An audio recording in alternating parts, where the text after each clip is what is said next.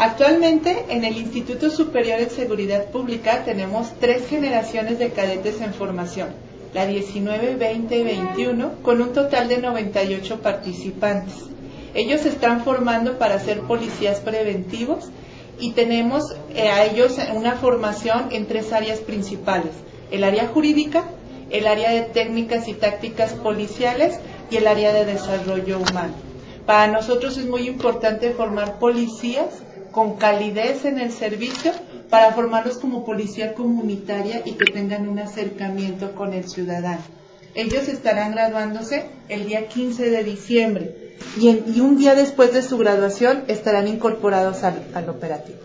Nuestra convocatoria permanece abierta todo el año. Nuestro interés es captar a todos estos jóvenes interesados en el servicio al ciudadano, en una vocación para dar la vida por el otro. Entonces, todo el año estamos recibiendo aspirantes que estén interesados en ser policías.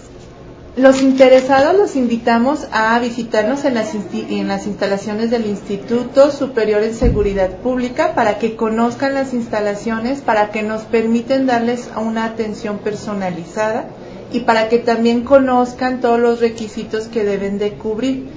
Les digo rápidamente los requisitos, tienen que ser jóvenes mexicanos por nacimiento, estamos recibiendo hombres y mujeres con vocación de servicio entre 18 y 40 años de edad, los varones que tengan su cartilla del servicio militar liberada, que no cuenten con antecedentes penales por un hecho mm, doloso y que no tengan ya una resolución juzgada por el mismo delito.